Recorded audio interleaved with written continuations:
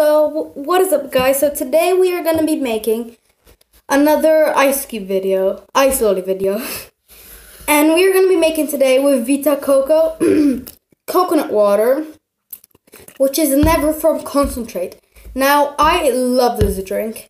And, um, but there's a lot of different firms that do coconut water, so you can try with any of them.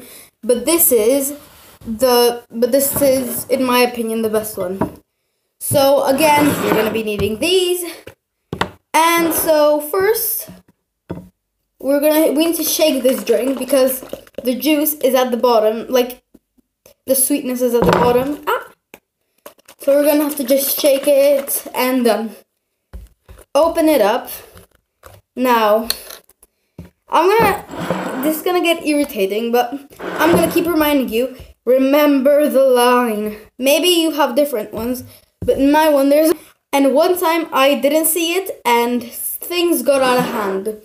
If you want to know which video, check out my first ever video. Okay, so we're pouring. This pours actually quite fast. And yeah, so that's that's perfect. And now we're just gonna shut this once again, squeeze it a bit, then shut. Boy, this is getting harder each time. Uh, it's because I just, I washed them today and, and when you wash them, they get dry and then it's harder. So this, that's our first one then. Oopsie, that's covering up the camera. We're just gonna put that Yeah. Now we're gonna do the second one. And. The reason I squeeze them every time I shut them is one, because if you don't, they will explode in your freezer or on your table, which is which you don't want none of them, trust me.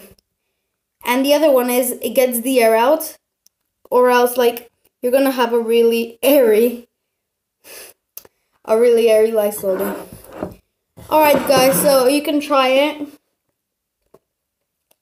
Like I said, amazing.